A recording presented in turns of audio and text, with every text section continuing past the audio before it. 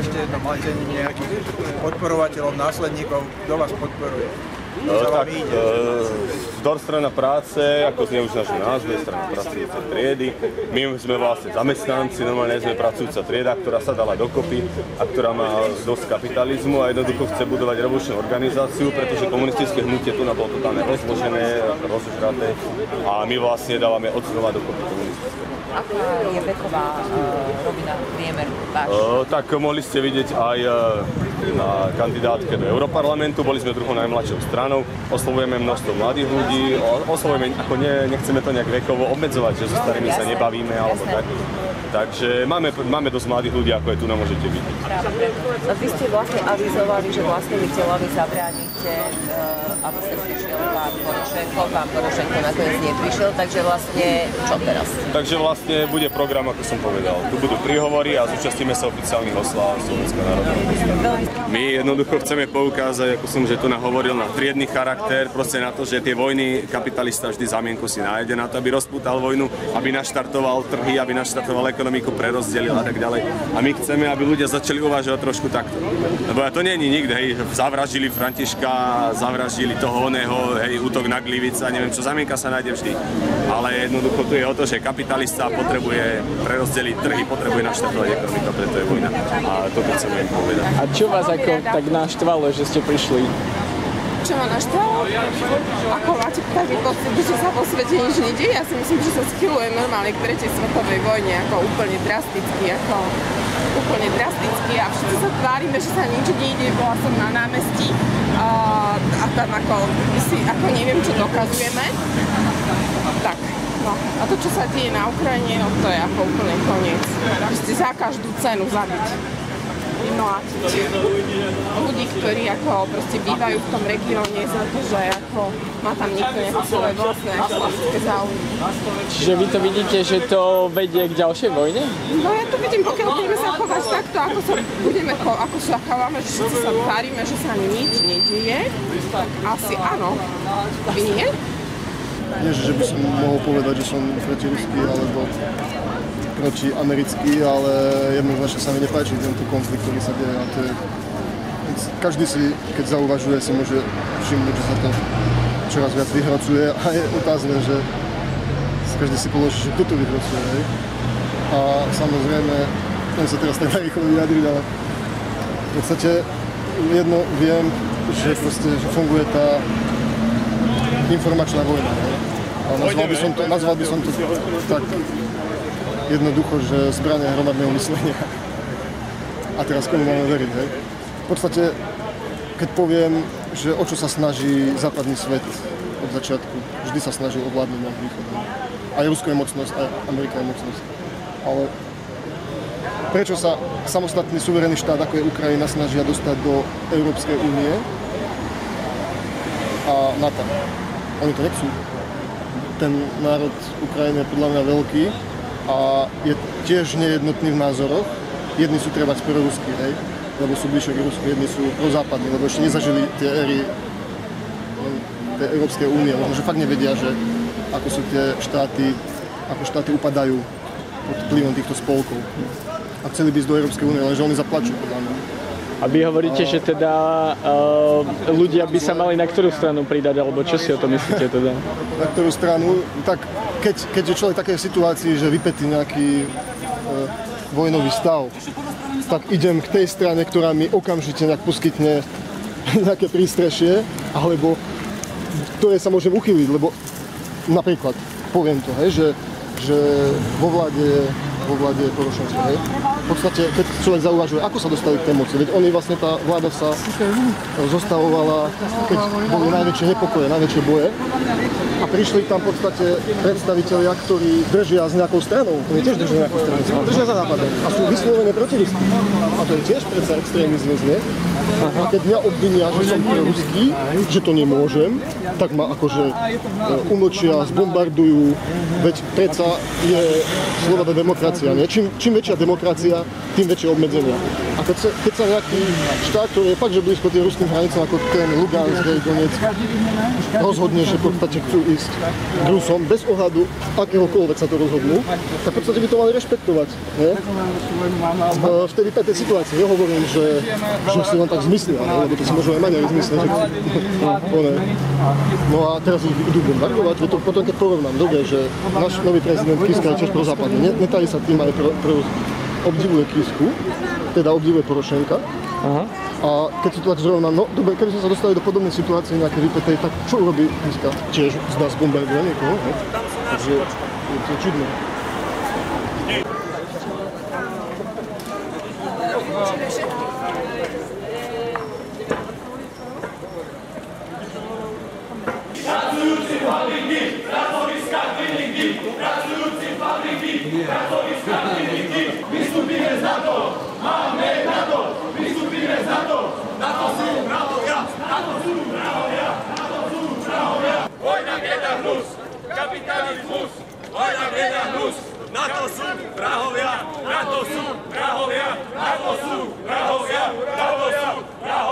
Keď vypuklo eh, povstanie SNP, som mal 12 rokov. Eh, A napríklad, povedzme u nás pred Žilinou, to, to je asi 10 kilometrov, tam prišlo k prvému stretu, tam išli, bolo nemecké vozidlo, to, to boli, ak sa volali tí, tí Nemci, to boli nejakí, Ako myslíš ty okupanti? nie, nie tam tí, tí 40, čo bolo čo, s tým autom, čo prišli. Ja, to bola spojovacia jednotka, jedna nemecká, tu zo Žiliny, vieš čo prišla? No. Ešte pred povstania, tam bol, pri vašej dedine bol prvý kontakt. No a tam, tam potom prišlo k stre, e, prestrelke a e, potom tie tanky, dva alebo štyri boli, z Martina išli, išli, išli, išli na pomoc Žiline a tí, potom tí Nemcov rozohnali, niektorí aj zabili.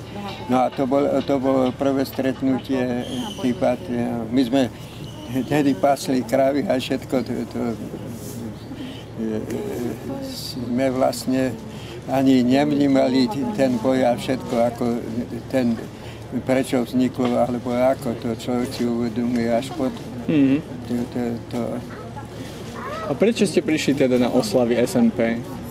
No, na oslaviť som prišiel, e, pretože myslím si, že tí ľudia, ktorí bojovali za Slovensko národnom povstane aj oslobodení, e, aspoň e, to si od nás zaslúžia, aby, aby sme im venovali pozornosť aspoň takýmto spôsobom za to, čo oni riskovali svoje životy. Prečo, prečo myslíte, že by mladí ľudia mali prísť na takúto akciu? No ja si myslím, že tí mladí ľudia by mali prísť, pretože e, už pomaly aj v literatúre je veľmi málo e, písané o tom, aj, e, aj v novinách, aj v rozhlase a tiež každý si to komentuje podľa svojho. A je nejaký spôsob, uh, ako sa v tom zorientovať podľa vás, alebo ako, uh, ako sa k tomu postaviť? No ja si myslím, že každý sa môže zorientovať. Vždy má v rodine niekoho, kto v tom povstaní bol. E, ale a keď nemá z rodiny, tak má známych, ktorí, ktorí, ktorí bojovali. A tí ľudia, ktorí to prežili, e, tí si nevymýšľajú, ale hovoria fakta. A, a jaký podľa vás malo význam pre nás SMP ako pre Slovákov, pre uh, Československo a vôbec ľudí, ktorí tu žili vtedy a ktorí tu žijú dnes? Ja si myslím obrovský, pretože e, tým pádom e, slovenským národným e, povstaním sme sa dos- dostali práve na stranu výťazov. To, to, je, to je ten podstatný rozdiel. E, Povedzme, e, Maďa- Maďari do poslednú e, bojovali s Nemcami aj e, všetko, kdež, kdežto my, tým, e, že vzniklo to e, povstanie, sme sa dostali na druhú stranu. A, a toto tí mladí ľudia dosť, dosť niektorí nevy, ne, neuvedomujú. E, A No, samozrejme, že za tie roky, tých 70 rokov, keď, ke- keď má teraz 20 rokov, alebo 30, no tak celkom ináč to vníma. No. A ke, keď zoberieme, že 70 rokov táto generácia nezažila vojnu, takže to je, to je jedna z úžasných výhod. A, a prišli ste kvôli nejakej konkrétnej veci, alebo chcete vidieť celý program, alebo vás niečo špeciálne zaujíma?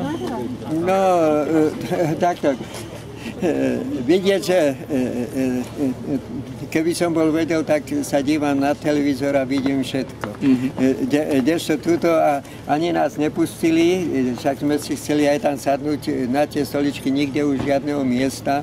No, no tak sme teraz len, ak sa hovorí snus, snus e, tak sme si sadli sem. No ale t- t- to, men, e, e, doma dúfam, že to budú ešte opakovať e, e, toto. Aleksán, e, e, ten e, súbor Tých som videl aj te- teda na priam tieto tancovať. No, to je obrovský tanec, tie skoky, to, to, je, to je pôžitok e, vidieť. No ale e, neprišiel som len kvôli tomuto e, súboru. A ešte mi napadlo, teraz ak sledujete to dianie, tiež niektorí hovoria, že ako keby sa schylovalo ku vojne. Čo si o to myslíte? Že je to možné niečo také, aby sa to vrátilo? No. A teda v tomto rozsahu, v takom... Tak ja, ja si e, e, myslím, e, že to, to, čo sa deje na, na Ukrajine, net- na to nenachádzam e, slov. Na, na, na, jedne, na jednej strane e, treba, keď padne niektorý vojak, e, e, tak samozrejme všetky pocty sa dávajú. Tam už, e, e, už stovky a tisícky e, vojak, vojakov zomiera, ale be- berú, ako keby ľudia neboli. No to, to, to, to je to strašne tam, e, e, neviem si predstaviť, e, ke, mať uni, uniformu e, a e, treba tam ten, e, čo môže sa vyhnúť, povedzme, je tam aj mobilizácia v určitých častiach, tak, tak ide tam, kde sa nebojuje. No, ale, ale riskovať životy, keď, keď zoberieme, že či je to už Ukrajina alebo Rusko, všade vládnu peniaze. Peniaze a, a te- teraz on má zomierať za čo?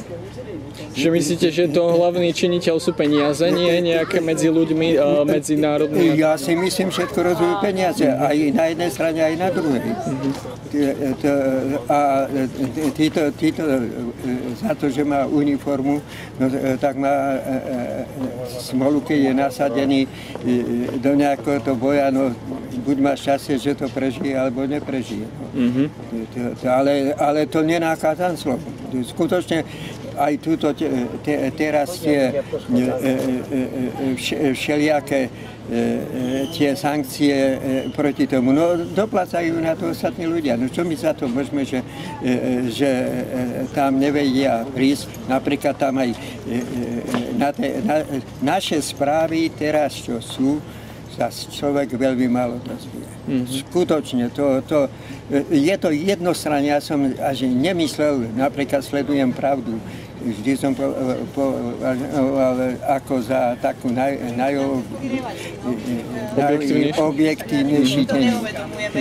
No, no, no ale e, e, prakticky teraz sa píše všade, e, všade jednostranne. Ešte som prekvapený v Čechách, keď, keď hovoríte če, český komentátor, alebo ktorý od neho sa dozvieš niečo, ale od našich nie. To, to, to, ja, e, fakt, to, e, to, to už e, predsa, e, teraz sa hovorí stále o prvej svetovej vojne, E, každého to zaujíma, ale tá druhá svetová vojna, ktorá, ktorá tých 60 miliónov, dokonca niektorí hádžu číslami a se- 70 miliónov, e, e, e, čo, e, čo, čo padlo, e, tak to ako keby teraz nikoho nezaujímalo. No, je to všetko, no, vždy doplá, dopláca len ten drobný človek, čo... To ďakujem, že ste sa vyjadrili mi. Keď ten Tak to vám poviem. Ja som bol v socializme a komunizme e, veľmi bytý. Nemohol som sa dostať do školy, e, za to, že bol môj starý otec kurák. Nemohol som sa dostať do žiadnej roboty. Musel som odkrútiť bani vyše troch rokov. A ak viete, čo je to bani krútiť, e, na Ostravsku som bol, aj to som musel sa dostať. E, to by ste zažili normálne, čo je to za robota. bani. Ja som nemal robotu. Nedali mi žiadnu. Ale našiel ste si. A teraz si 300 tisíc ľudí nejde nájsť. Nedali žiadnu robotu. A teraz je lepšie? Nie. Ja poviem, že nie. Vážení priami účastníci protifašistického odboja,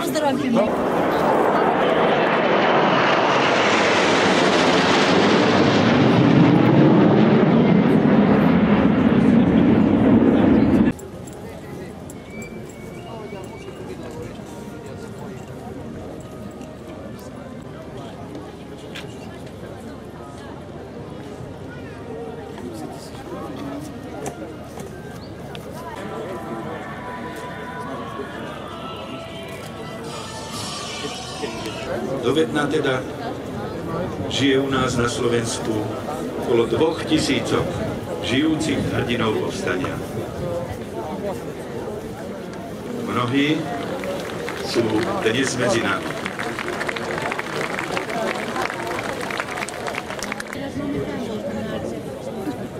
Ešte raz vstaňme a potleskom zdajme hold tým mužom a ženám, ktorí tu sedia v prvej rade.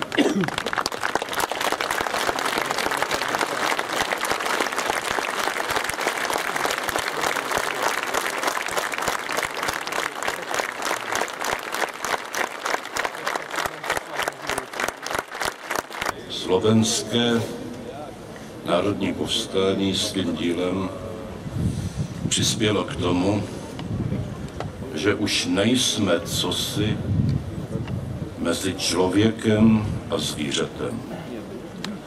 A právě proto bych se na závěr svého vystoupení chtěl s úctou sklonit před přítomnými veterány, kteří symbolizují tu skutečnost, že zde stojíme, nikoli klečíme, jako svobodní lidé.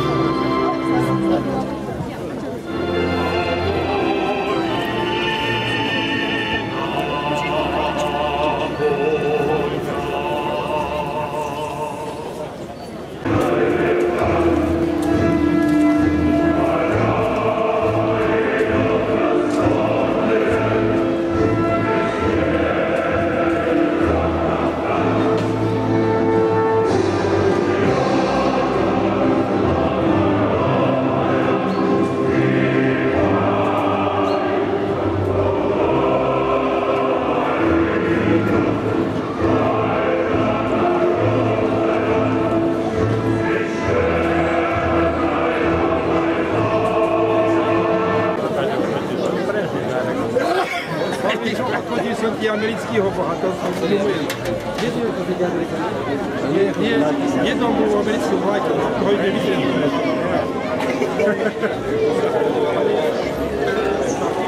Váži americký.